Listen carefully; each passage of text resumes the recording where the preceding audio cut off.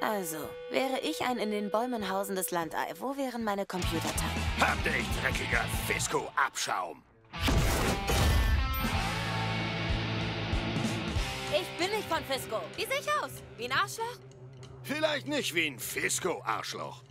Aber ich knall dich zur Sicherheit trotzdem ab. Halt! Hör zu, ich bin nicht von Fisco. Ich will nur Computerteile von dir klauen. Wie hast du dir das vorgestellt? Ich hab schließlich diese Knarre hier. Ja, ich habe auch Knarren. Verdammt! Aber kannst du damit auch umgehen? Ich bin Amerikanerin.